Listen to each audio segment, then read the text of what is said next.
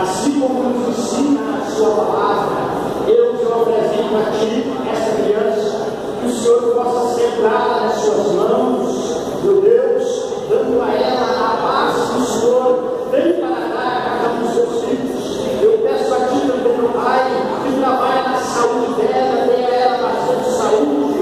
Deus Santo, Deus amado, apresento a ti os seus pais, que o Senhor dê sabedoria a eles para criar